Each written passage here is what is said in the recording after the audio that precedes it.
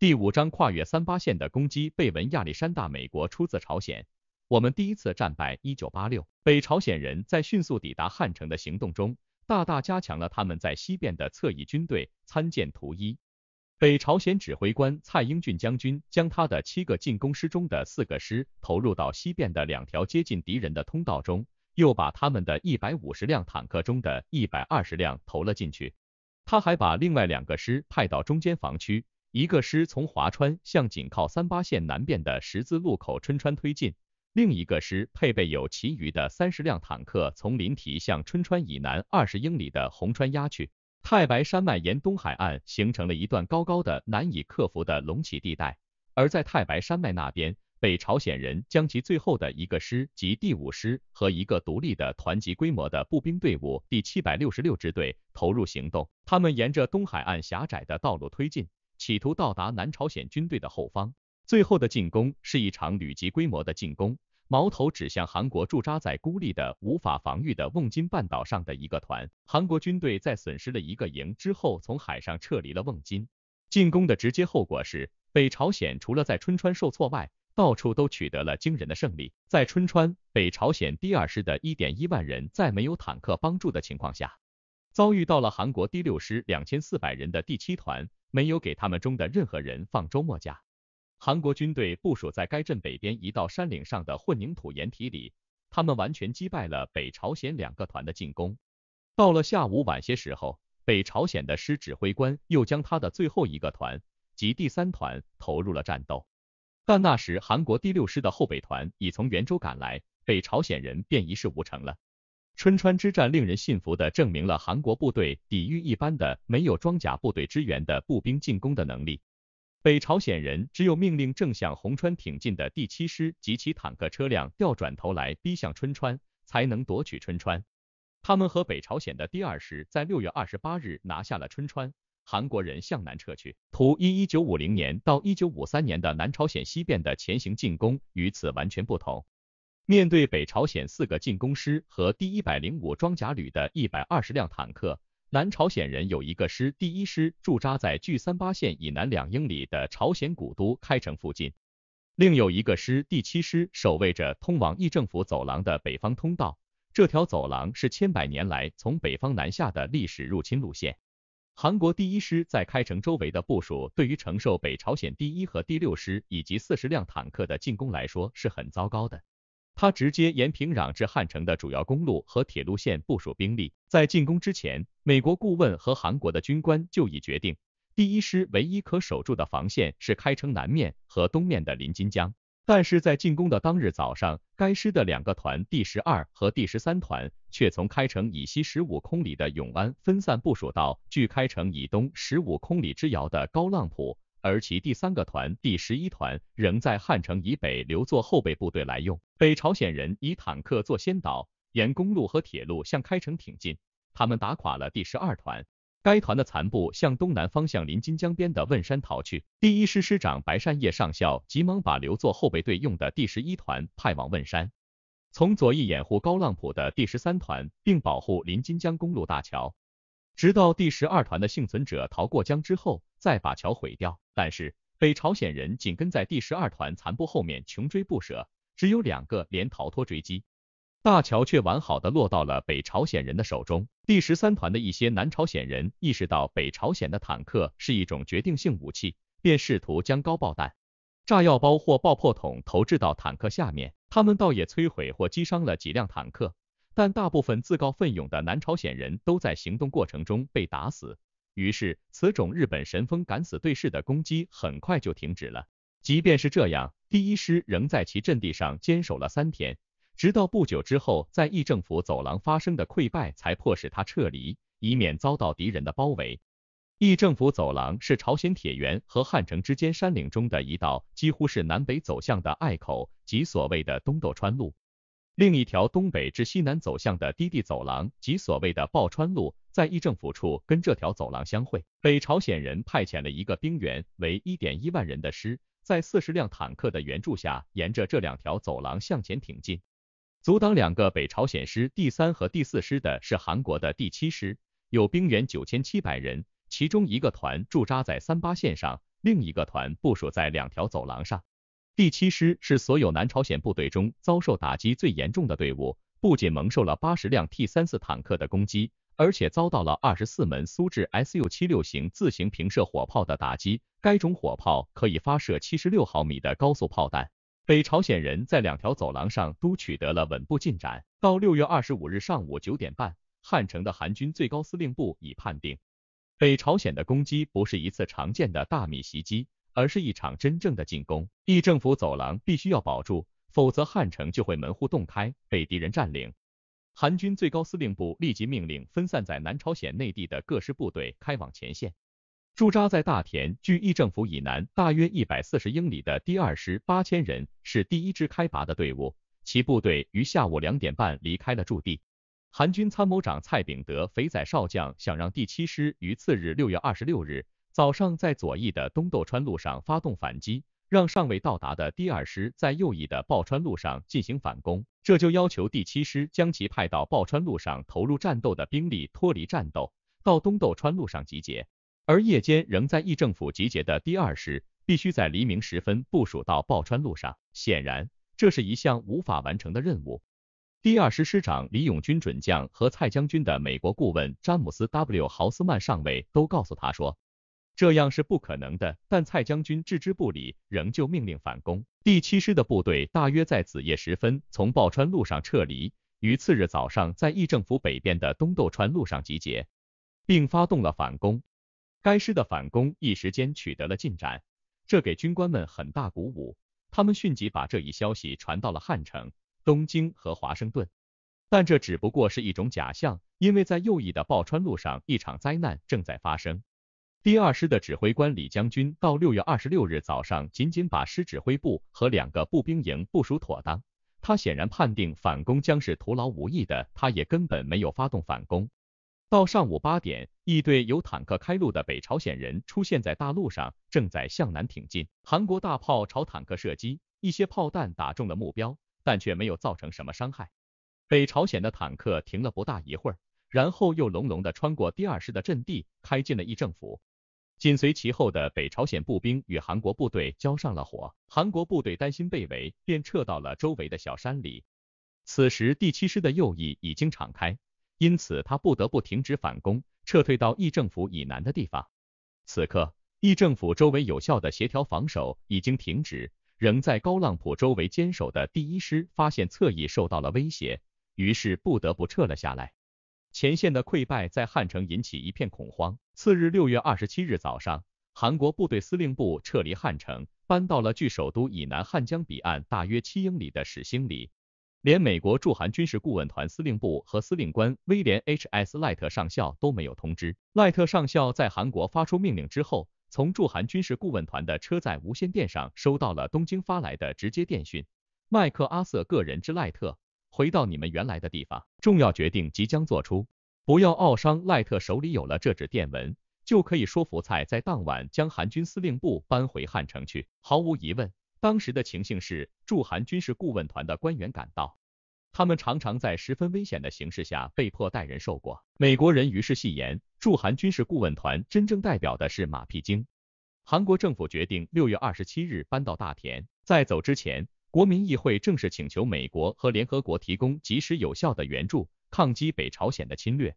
美国大使约翰 ·J· 木桥及其工作人员转移到了汉城以南大约二十英里的水源。在此之前，木桥已经开始组织美国和其他国家的妇女、儿童或非军事人员从朝鲜撤离。这一进程在木桥和美国大使馆撤至水源时仍在全面进行。按照几乎一年前就制定出的应付此类紧急情况的行动计划，木桥在六月二十五日上午十点钟时开始组织平民撤离。到六月二十六日凌晨一点钟。美国人正从他们在汉城的住宅里，向一艘停泊在仁川码头的匆忙征用来的挪威化肥船上转移。到下午六点钟时，共计六百八十二名妇女和儿童上了船，轮船离岸向日本驶去。在同一天，另一艘停泊在釜山的轮船运载了从朝鲜南部撤离的美国人的家属。第二天，六月二十七日，美国和其他国家的侨民。继续以更快的速度从水源机场和汉城西南几英里之遥的金浦机场乘飞机撤离。从日本飞来的美国战斗机为了保护撤离行动，执行了无数次的护航和警戒任务。与此同时，美国海军也为两艘载满家属的船只护航。正是在这次撤离行动期间，美国人和北朝鲜人发生了第一次冲突。六月二十七日上午，三架北朝鲜雅克三型活塞驱动式战斗机。大胆地向正在保护从金浦和水源进行空中撤离的四架美国喷气式战斗机开火，美国人立即将这三架雅克飞机全部击落。当天晚些时候又击落了四架，这样在一天之内，美国喷气式战斗机就把北朝鲜整个空军战斗力量的六分之一摧毁了。撤离工作在没有遭受任何伤亡的情况下顺利结束了。在四天之内。美国从朝鲜向日本转移了两千零一人，其中一千五百二十七人是美国侨民。英国驻南朝鲜的公使及其工作人员，还有一些英国侨民，决定留在汉城，并提出外交豁免。他们非但没有得到豁免，反而在北朝鲜坐了差不多三年牢。六月二十七日大约子夜时分，驻韩军事顾问团的军官们获悉。南朝鲜人准备将汉城汉江上的几座先前已埋好炸药的桥梁炸掉。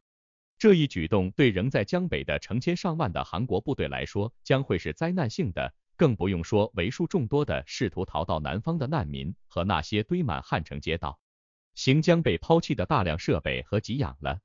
驻韩军事顾问团早些时候曾经从蔡将军那里得到过承诺，等到北朝鲜坦克到达韩国部队司令部所在的街道之后，再把那几座桥炸掉。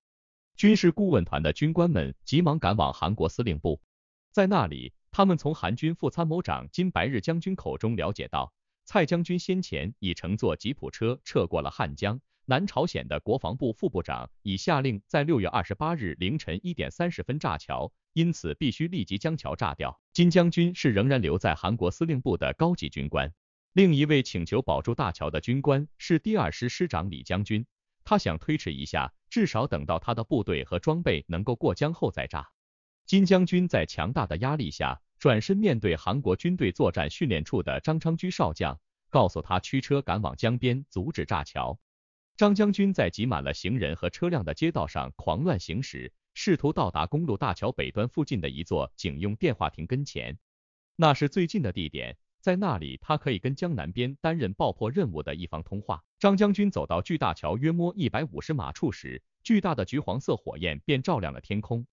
接着响起了震耳欲聋的轰鸣声，表明那座公路大桥和三座铁路桥同时被炸掉了。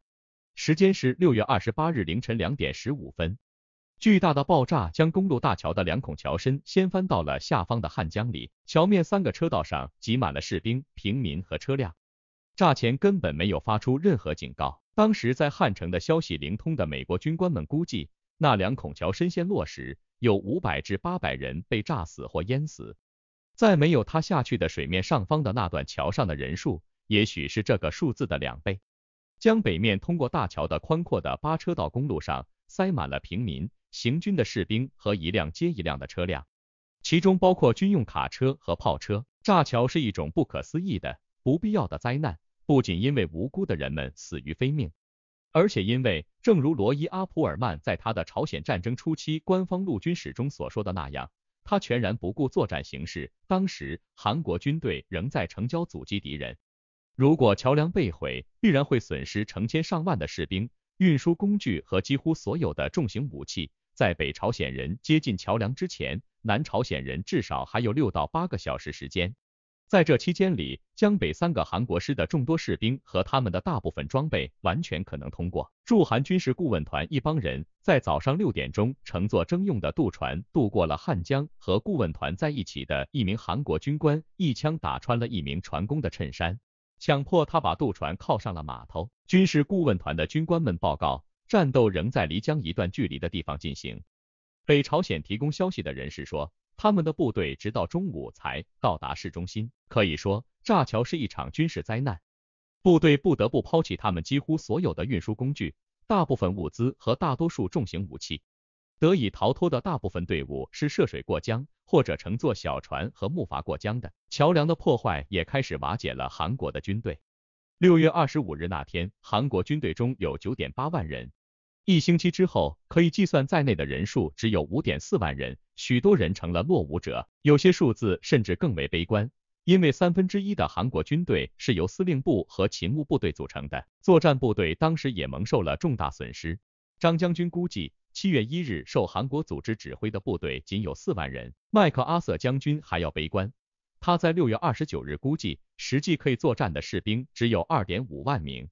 不论是什么数字，曾在汉城以北投入战斗的几个师的战斗潜力已十分可怜，他们保留下来的武器还不到原来的三分之一。第六章华盛顿的抉择被文亚历山大，美国出自朝鲜。我们第一次战败，一九八六。华盛顿和东京的美国领导人所面临的形势是，韩国军队和政府即将解体，整个朝鲜瞬间将被吞并，成为一个共产党国家。在这种情况下，后来担任艾森豪威尔总统的国务卿，并以其战争边缘政策而臭名远扬的约翰福斯特杜勒斯译者注：杜勒斯竭力主张反共，他一再鼓吹与共产党已到战争边缘，并以此来吓唬人，为美国指明了最初行动方针。为维护两党外交政策的利益，共和党人杜勒斯最近被任命为国务卿艾奇逊的特别顾问。北朝鲜发动攻击时，杜勒斯恰在东京。他急电艾奇逊说，如韩国守不住时，即使要冒苏联采取对应行动的风险，美国也应该出兵。他还说，在韩国遭受武装进攻、被无缘无故蹂躏之时，如坐视不管，就要引发一系列灾难性事件，甚至极有可能引起世界大战。返回华盛顿后，杜勒斯说，他的意思是，美国只出动海军和空军，而不派地面部队。杜金斯认为，美国如不干预，将会引起世界大战。这一观点并不那么符合逻辑。尽管如此，杜金斯的话仍然是耸人听闻的，尤其是只要他一谈到共产党威胁，就会在国会的共和党人中引起共鸣，掀起轩然大波。可是三军参谋长联席会议主席奥马尔布莱德雷将军在开始时并不这样担心。他曾对参谋长联席会议同行们说过，如果朝鲜陷落，我们或许就要建议采取更为强烈的行动来对待福摩萨、台湾。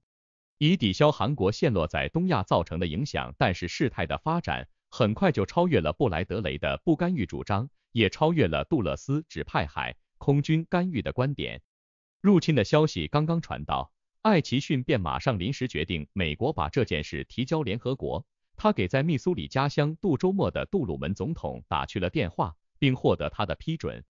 联合国秘书长挪威的赖伊要在星期天下午召开安理会紧急会议，于是助理国务卿迪安·拉斯克与其同行们星期六晚上通宵未眠，赶着为安理会起草一项拟议中的决议。星期天上午，即华盛顿第一次接到关于进攻的急电，十四小时后，华盛顿时间比汉城和东京时间晚十四小时，国务院和陆军部官员召开了一次会议。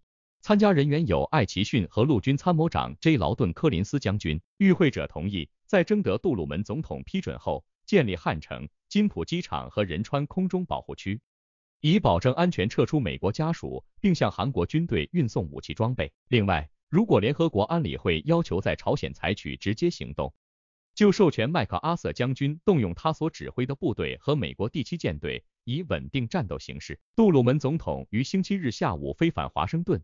并于当晚在其驻地布莱尔大厦召集了晚餐会，因当时白宫正在休憩。参加晚餐会的是总统的军事和外交顾问。在飞返华盛顿的途中，杜鲁门在思想上已倾向于进行干预。他后来写道。如果自由世界不加干预，允许共产党强行进入大韩民国，那么在强大的共产党邻国面前，就没有敢反抗侵略和威胁的小国了。艾奇逊也同样突然改变主张，放弃了一月十二日他在华盛顿新闻俱乐部发表的声明，即把朝鲜置于美国战略利益防线以外。他在回忆录中写道：显而易见，这次进攻并不足以构成向苏联宣战的理由。同样显而易见的是。这次进攻是对我们所拥有的国际公认的地位提出了明目张胆的挑战。我们是韩国的保护者，而韩国这一地区对美国占领的日本的安全又非常重要。看起来，我们必须下定决心来使用武力。在杜鲁门飞抵华盛顿时，纽约成功湖的联合国安理会正在召开紧急会议。这时，苏联代表雅可夫·马利克因红色中国未被联合国接纳，尚在抵制安理会。这样美国就没有苏联使用否决权的干扰。经过几个小时的辩论后，只对决议做了少许修改，安理会就以九票同意、零票反对通过了美国的决议。南斯拉夫弃权，因为他们说其首席代表正在度假，无法赶来开会。这项决议要求立即停止敌对行动，并要求北朝鲜军队撤回到三八线。虽然如此，但消息灵通人士几乎没有人认为北朝鲜人会理睬这项决议。杜鲁门的布莱尔会议几乎进行了整整一晚上。这次会议产生了许多严重后果。出席会议的有艾奇逊和他的几个主要助手，还有国防部长路易斯·约翰逊、三军部长及陆军部长小弗兰克·佩斯、海军部长弗兰西斯 ·P. 马修斯。空军部长 K. 托马斯·芬勒特、参谋长联席会议主席布莱德雷及其他三名参谋长联席会议成员，及陆军的 J. 劳顿·柯林斯将军、海军的弗里斯特 ·P. 谢尔曼上将、空军的霍伊特 ·S. 范登堡上将等。饭后，杜鲁门邀艾奇逊就朝鲜危机发表意见。艾奇逊谈了当天早些时候在国务院和陆军部召开的会议上所起草的建议要点。不过，由于当时安理会尚未号召联合国成员国采取直接军事行动，艾奇逊并没有建议授权麦克阿瑟动用美国武装力量来稳定局势。杜鲁门批准立即将库存在日本的武器装备运送到韩国，并动用美国部队来保护美侨撤出。艾奇逊这时突然放了一炮，他提议应命令美国第七舰队由菲律宾北移，并承担一项任务。即阻止大陆进攻台湾，或者台湾进攻大陆。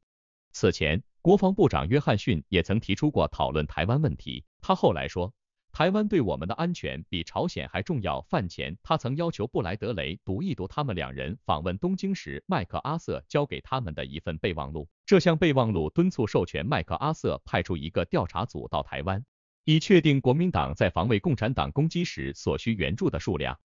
艾奇逊发言后。杜鲁门授权第七舰队开往日本南部九州岛上的佐世保，但又约定该舰队的任务还有待审议。很显然，他当时尚未最后下定决心。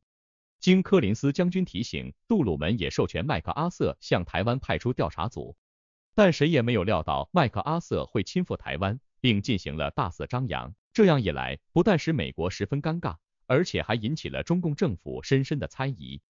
尽管六月二十五日在布莱尔大厦召开的会议并没有做出不可更改的决定，但他却启动了美国在军事上干预朝鲜的进程。而且从长远看，更为重要的是，这次还把台湾继续作为国民党的堡垒，与制止北朝鲜侵略相提并论。其实这两者本是风马牛不相及的。这次会议不仅预示着杜鲁门放弃了一月五日的声明，突然改变了美国不干涉中国内政的政策。而且还暗示共产党中国卷入了北朝鲜的侵略，因而把第七舰队插到中国大陆与台湾之间，就将抵消中国大陆的卷入，并有助于保护韩国。如说当晚布莱尔大厦的与会者都处于惊人的压力之下是不错的，他们把北朝鲜的进攻看作是共产党总体征服阴谋的一部分，而且中共由于是共产党，因此也是有罪的。这一点也是真的。第二天，华盛顿六月二十六日，星期一，汉城六月二十七日，一个恐慌不安的日子，事态变得更明朗化了。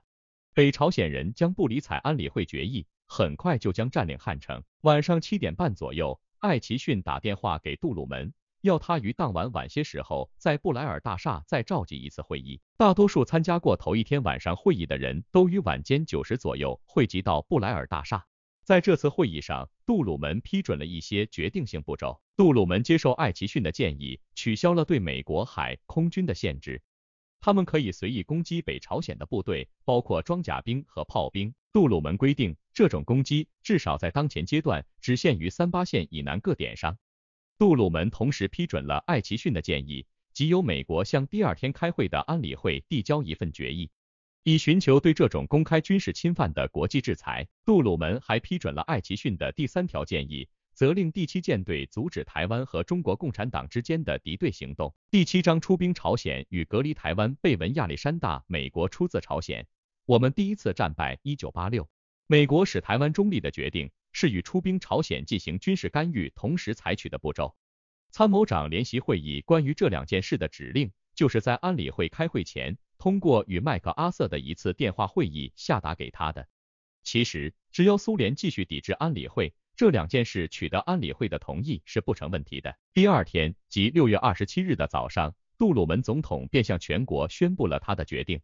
关于美国武装部队的任务，他只用一句话概括道：“我已命令美国海军和空军部队向韩国政府军提供保护和支持，其理由是北朝鲜人藐视安理会原来的决议。”在台湾问题上，他说的要周详得多。他的声明为华盛顿当时的想法做了指导性的注解。他说，对韩国的进攻使人们一眼看出，共产主义已经不再使用颠覆手段来征服独立国家。现在要用武装入侵和战争手段了。他蔑视联合国安理会发出的维护和平与安全的指令。在这种情况下，如果共产党占领福摩萨，台湾就会对太平洋地区的安全和在这一地区履行必要而合法职责的美国部队构成直接威胁。因此，我已命令第七舰队阻止对福摩萨的任何进攻。作为这一行动的必然结果，我也会呼吁台湾的中国政府。停止对大陆的一切海空作战行动，第七舰队将确保做到这一点。至于台湾将来的地位问题，必须等到太平洋地区的安全得以恢复，日本问题得到和平解决才予以确定，或者由联合国来考虑。正像这一声明所证实的那样，杜鲁门当时要把台湾和朝鲜问题的联系说得合乎逻辑，并不容易，但他的确下了一番苦功夫。他的说法并不成立，这一点倒不太重要。重要的是，它起到了烟幕弹的作用。即便认定红色中国是北朝鲜人的同谋，执意从事侵略活动，其实他们根本不会那样做。台湾对他们来说也不是什么理想的进攻基地。如果第七舰队能阻止红色中国进攻台湾，那么他就能阻止红色中国利用台湾来征服其他独立国家，用世界上最强大的海军所控制的一座海岛作为进攻基地。比用舰船根本无法包围分割的大陆要糟糕得多，但杜鲁门却把台湾描绘成为对美国安全的威胁。这样做的目的是不让纠缠他的人摸清他的真正意图。有件事可以证明这一点，他在发表声明前曾与国会中的两党领袖讨论过朝鲜和台湾问题，并得到了他们的支持。杜鲁门已下决心援助韩国。但他不愿自己的后院受到共和党人和中国院外活动集团成员译者注，此处指受国民党收买的一批政客的攻击。这些人极力主张援助蒋介石，并曾批评过杜鲁门一月五日发表的不干涉台湾的政策。倘若中共趁美国军队在朝鲜作战之机出兵占领台湾，而美国对此听之任之，无所作为，从政治上讲，杜鲁门承受不起这样的攻击。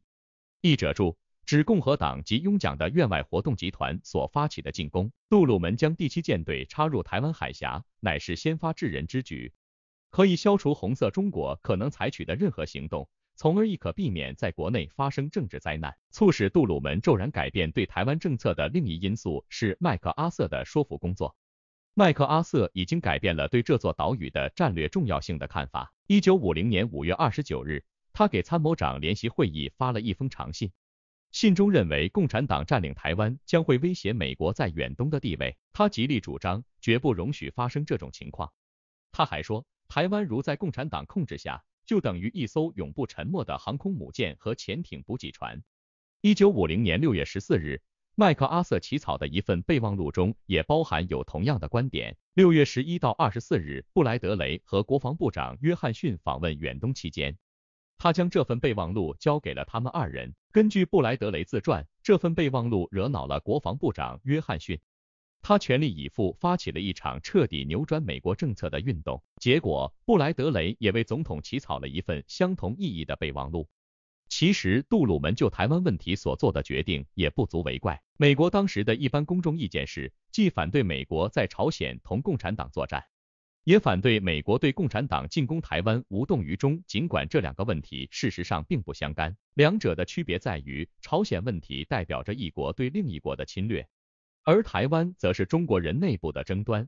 这一点尤其不错，因为许多美国人对共产党组成合法的中国政府这一概念也接受不了，在他们看来，中国的政府还是应由国民党来组建，因此，许多美国人无视远东的现实。分不清不合法的北朝鲜和不合法的共产党中国在概念上的千差万别。他们觉得，如果美国要反对其中一个，那就应该同时反对另一个。杜鲁门是一个老练的政客，毫无疑问，他能摸准美国人的心态。不论是他还是任何别的美国主要领导人，都不愿在公众思想上澄清中国和朝鲜形势之间的基本差别，那样做会冒政治上自寻灭亡的风险。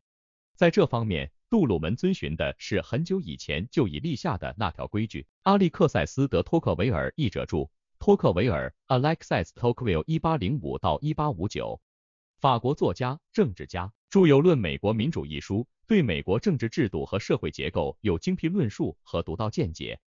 在十八世纪三十年代对美国的经典性研究中，就集中注意到了美国的现实。他写道，在美国被推选为公务领导人者，也许时常会不讲信用，或常犯错误，但他们却不敢与大多数人故意为敌。而托克维尔也看出美国还有一种倾向，不是谨言慎行，而是感情用事，常把成熟的计划弃之一边，而听任一时之冲动。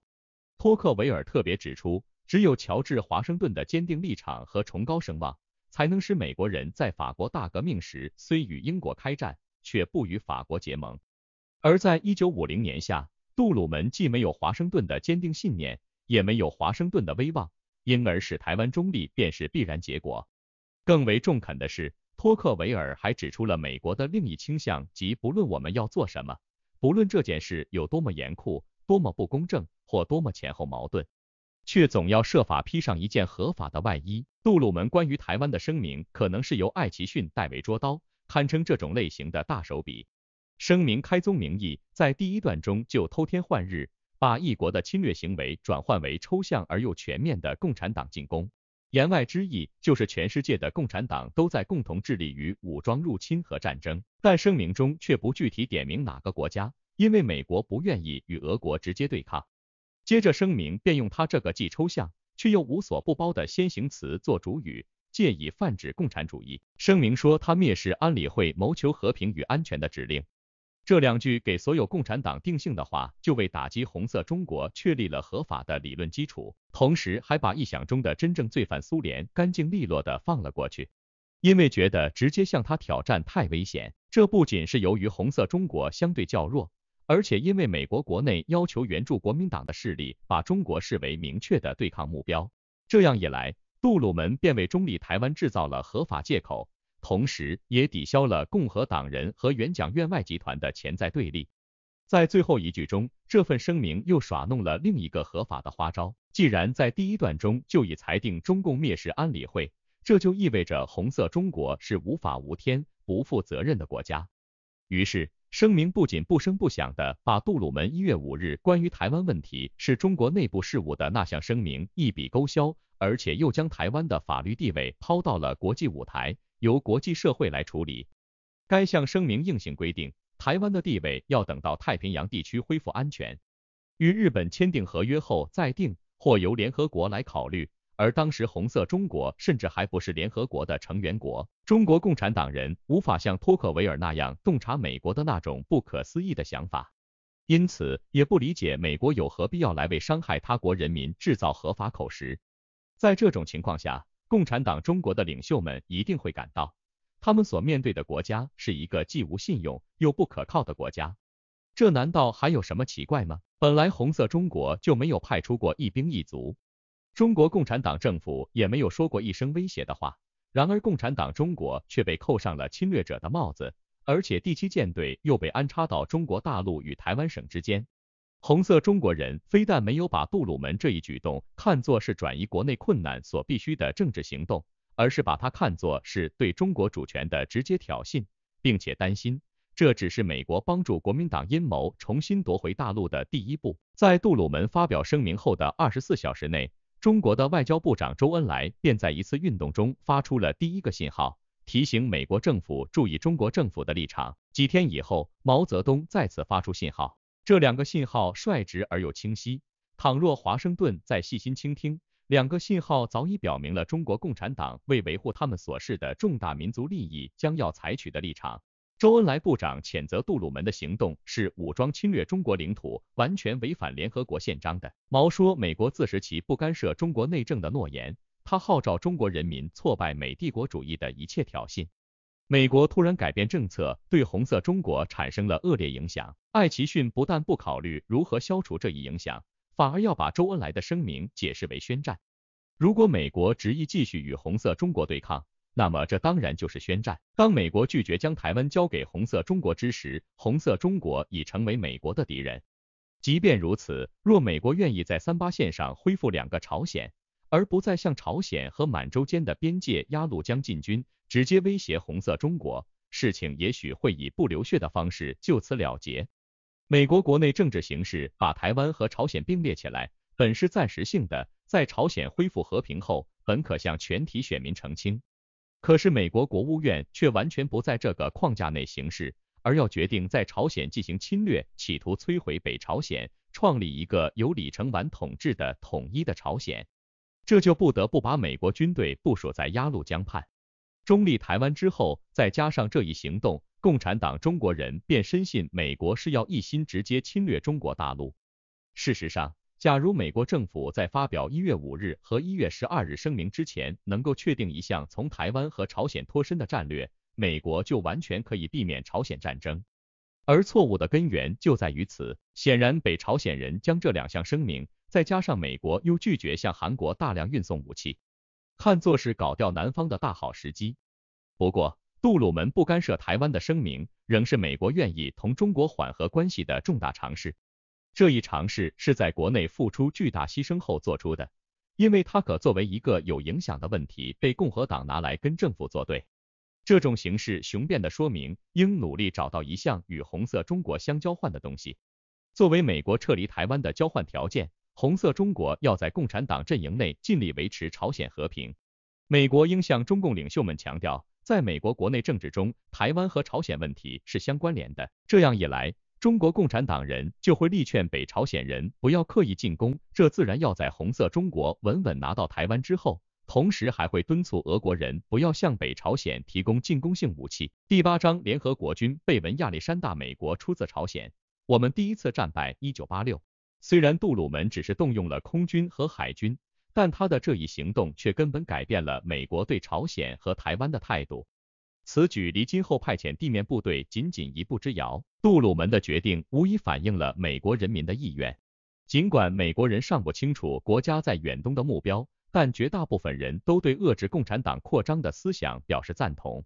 在六月二十七日杜鲁门宣布进行干预的同一天，国会讨论了这场危机和总统的反应，大多数国会议员都支持总统。众议院以三百一十五比四的投票结果批准将服役期延长一年，这一措施也使总统有权征召各军种的后备役军人。第二天。参议院以七十比零的表决结果批准了该项议案。杜鲁门为其行动赢得了国会的支持，但他却不愿像宪法所要求的那样到国会那里去，要求国会把朝鲜冲突宣布为一场战争。他不愿背上将国家引入战争这一沉重的政治包袱，他倒乐意把这场冲突看作是一次警察行动。这样，总统便开创了一个令人遗憾的先例，即避免由国会正式宣战。以此来尽力消除并缩小美国军事行动产生的不良影响。自杜鲁门起，这一方针无不为每一位美国总统所遵循。联合国安理会于六月二十七日再次开会，这为俄国人在宣传上遭到惨败创造了条件。杜鲁门上午发表的通告已向世界清楚地表明即将会发生什么事情，但是安理会成员事先已经知道这种情况。中立国印度和埃及感到惊慌失措。他们将会议推迟到下午召开，以便其代表能够跟他们的政府进行磋商。唯一能够阻止美国决议的方法是五大国之一的苏联行使否决权。人们不知道那天在克里姆林宫和苏联代表雅可夫·马利克之间究竟传递了什么消息。如果苏联代表匆忙返回安理会行使否决权，那会引起人们的谴责，指责苏联滥用其权力。并且马上会把苏联列为北朝鲜的同谋，但不这样做又会给北朝鲜打上侵略者的烙印，并使民主国家有机会对共产党人的扩张行径和不妥协态度表示愤慨。投票反对北朝鲜，在西方世界无疑会被看作是反对苏联。虽然如此，但谴责北朝鲜也是避免直接向苏联挑战的一个步骤。另外，苏联已经通过自己的沉默发出了信号。他要把这场危机当作朝鲜的内部事务来看待。不久，苏联就正式采取了这一立场。国务卿艾奇逊将此视为克里姆林宫又一次故意做出的模棱两可的回答，因而他在六月二十九日便断定，苏联的真正用意是不想把他们自己的军事力量投到朝鲜去。这样一来，苏联就面临两种前景暗淡的选择：一种是动用其否决权，引起世界的责骂，并将北朝鲜的入侵打上俄国人受益的标记，从而将俄国人更加直接、更加深重地拖入朝鲜半岛；另一种选择是把整个事件当作派系之间的一种小小的内部争吵来对待，而不论其中一派得到的苏制大型坦克的援助有多么多，并将厚着脸皮将整个事件拖下去。俄国人选择了后者。那天在安理会上，马利克的座位上仍然空无一人。美国在安理会上取得了一大胜利。美国要求俄国表态，而苏联非但没有支持共产党的蓄意入侵行动，反而采取了袖手旁观的态度。尽管在此之后，神经紧张的美国领导人表现出不少忧虑，并出了一些偏差，但却从来没有出现苏联将在朝鲜进行干预的严重威胁。美国提出决议案。敦促联合国成员国向韩国提供必要的援助，以击退武装进攻，并在该地区恢复国际和平与安全。尽管大家知道该决议案会被提出，但一些安理会成员国却在决议案的严酷含义面前踟蹰不前。决议案意味着联合国向北朝鲜宣战，所有成员国至少在道义上都有义务成为交战国。在这一天的其余时间里，辩论一直在进行。直到子夜前，安理会才通过了该项决议案。当然，美国知道他会获得通过的。美国代表团事先已个别征求了安理会成员对该决议案的意见，并且十拿九稳会获得七票。只有南斯拉夫没有否决权，投了反对票。印度和埃及弃权。美国为其将要采取的行动获得了国际组织的正式批准。美国还在七月七日那天基本上左右了安理会的全部工作。安理会于当天建议。联合国成员国派出的部队应由美国来指挥，并要求美国指定一名联合国军司令官。杜鲁门立即任命了麦克阿瑟。联合国没有做出任何监督战争行为的规定，只是要求美国在适当时候对统一指挥下所采取的行动进行报告。七月十二日，麦克阿瑟在东京建立了联合国军司令部，与他的远东司令部设在了一处。七月十四日。南朝鲜的李承晚总统将韩国的军队置于该司令部的指挥之下。麦克阿瑟将军在朝鲜的先遣队司令官约翰 ·H· 丘奇准将于六月二十七日下午七点钟，即在南朝鲜人炸掉汉江上的桥梁之前的那个傍晚，到达了水源机场。丘奇将军很快就意识到韩国军队已处于即将瓦解的状态。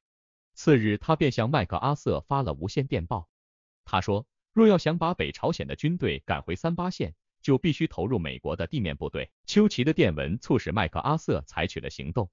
第二天上午，麦克阿瑟本人乘坐他个人的四引擎 C 五四型运输机巴丹号，在四架喷气式战斗机的护航下飞临水源。麦克阿瑟的驾驶员在因一架正在燃烧的 C 五四型飞机，该机是当日早些时候被一架北朝鲜战斗机扫射击中的，而缩短的跑道上降落。李承晚总统、美国大使穆乔和丘奇将军前来迎接麦克阿瑟，陪同麦将军的有他的七名高级参谋军官，另外还有几位新闻记者。麦克阿瑟的驾驶员立即起飞飞往九州加油，并在那里待命返回。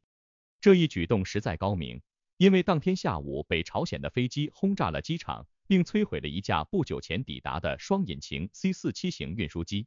麦克阿瑟坚持乘车穿过川流不息的难民和杂乱无章的士兵，朝北边的汉江开去。当时汉江仍是横在北朝鲜人面前的一道屏障。显然，正是这次旅行使麦克阿瑟相信丘奇的话是对的。单靠舰艇和飞机无法挽救局势，尽管美国海军在海上无与伦比，远东空军三百五十架做好战斗准备的飞机。其中许多都是最好的喷气式战斗机，在战事爆发时，也立即从北朝鲜人拥有的一百一十架涡轮式战斗机那里夺取了空中优势。那天夜里，麦克阿瑟回到东京，在华盛顿方面的紧急建议下，为华盛顿起草了一份电文。但奇怪的是，他却等了将近十二个小时，还没有将电文发出。那是一份悲观的评论，韩国军队完全没有能力进行抵抗。而且存在着被进一步突破的严重威胁，他说道。如果敌人继续向前推进，就会使共和国垮台。麦克阿瑟要求得到权力，从日本派出一个美国团战斗队投入作战，以后也可能组建成两个满员师。杜鲁门总统在六月三十日凌晨五点钟，此时他已起床，收到了麦克阿瑟的请求，他同意派遣一个团战斗队，但却对组建两个师迟迟没有做出决定。那一决定要等待当天下午九点钟在白宫举行的会议的结果。杜鲁门召来了艾奇逊、约翰逊三军部长和参谋长联席会议的参谋长们，总统提出了一个不可思议的建议，要他们考虑。蒋介石表示愿意派遣三点三万人的中国国民党部队，而杜鲁门则倾向于接受这一提议。也许再也找不出一个比这更好的例子来证明杜鲁门对当时中国的形势十分无知。或者说存有很大的误解，他把第七舰队安插到大陆和台湾之间，这一决定是基于美国国内的问题，而不是基于此举对中国人的影响做出的。而他提议将蒋介石的部队派到朝鲜，只能会被红色中国人看作是一种证据，表明美国打算支持国民党人反攻大陆。幸亏艾奇逊国务卿深明此举的含义，他断言。派遣国民党人会激发红色中国人在朝鲜进行干预。几位联席会议参谋长也随声附和。他们指出，国民党人当时几乎成了台湾岛上的军事难民，其装备并不比南朝鲜人强，而且将他们运往朝鲜所需的运输设施，若用来运送美国的军队和物资，也可能会更为有效。杜鲁门放弃了自己的主张，同意拒绝蒋的提议，然后又做了一个令人惊诧的决定。